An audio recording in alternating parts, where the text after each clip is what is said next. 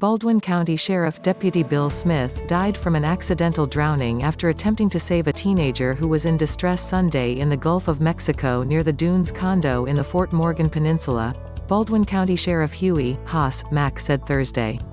Mack, during a news conference in Robertsdale, said Smith was the first one in the water after a receiving call about a swimmer in distress in the Gulf's rough surf. Previous reports had indicated it was his partner, Deputy Sydney Wentworth, who arrived first. At the time of Smith's arrival, two other women were in the Gulf and were struggling in the dangerous surf. One had a flotation device, and one did not.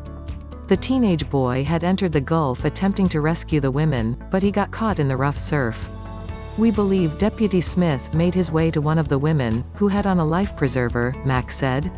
When he saw she had a preserver on her, he diverts to the teenage boy who now was in distress because of the waves.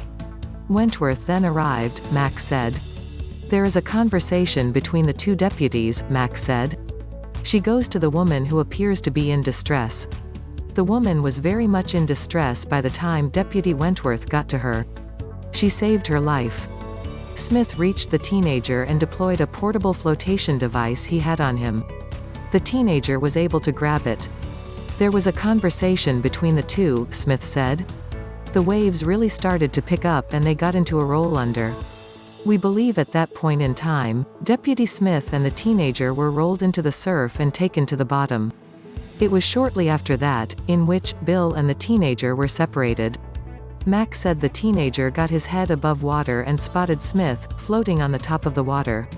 Two jet skis arrived at the scene with Gulf Shores Police and the U.S. Coast Guard to assist in the rescue, said Mack. The Coast Guard assisted in getting Wentworth and the woman she saved out of the water.